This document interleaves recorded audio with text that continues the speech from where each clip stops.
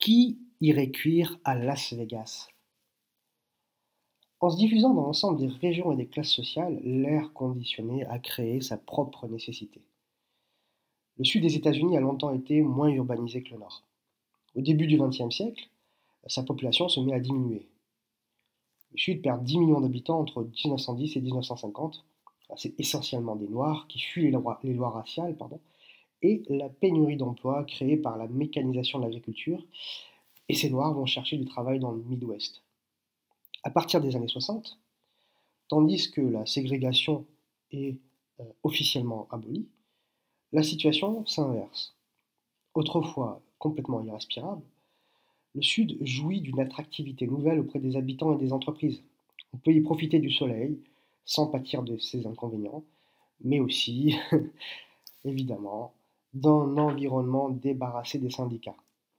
Entre 1950 et 2000, la part des États de la Sun Belt, la ceinture de soleil, dans la population américaine passe de 28 à 40% Voici ce que dit l'historien Gary Mormino.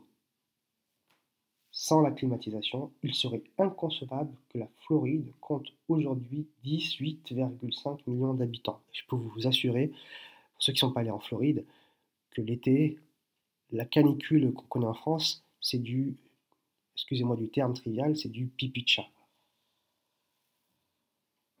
Le parc d'attractions Walt Disney à Orlando ressemblerait à un four et aucun joueur n'irait cuire dans les casinos de Las Vegas au milieu des étendues désertiques du Nevada.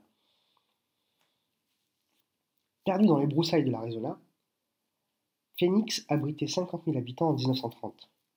Il en rassemble, aujourd'hui 1,5 million et ses banlieues gagnent chaque jour du terrain. Le béton et l'asphalte qui tapissent la ville absorbent la journée en journée puis la relâchent au coucher du soleil. Ça empêche la chute nocturne des températures.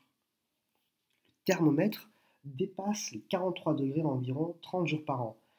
En 1950, euh, cette température était euh, euh, dépassée 7 jours dans l'année. Et puis au mois de juin 2017, ça a flirté avec les 50 degrés pendant 13 jours consécutifs. Et du matin au soir, des centaines de milliers de climatiseurs brambissent et rejettent de la chaleur. Une chaleur qui est rejetée dans l'atmosphère et qui fait encore grimper la température d'environ 2 degrés. Et ça justifie euh, de monter encore le, niveau de la climatisation. Évidemment. bon, c'est pas imaginable dans. Voilà, je comprends, tu vois. c'est pas imaginable d'habiter dans le sud des États-Unis sans air conditionné il y a encore un siècle, personne ne se posait la question.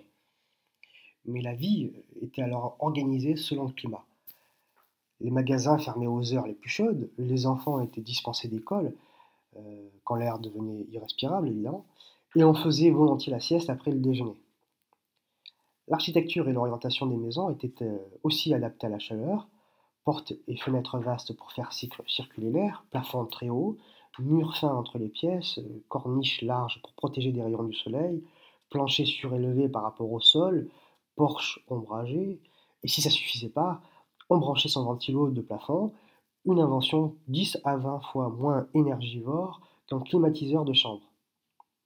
On mettait ses pieds dans une bassine d'eau froide ou un linge mouillé autour de son cou.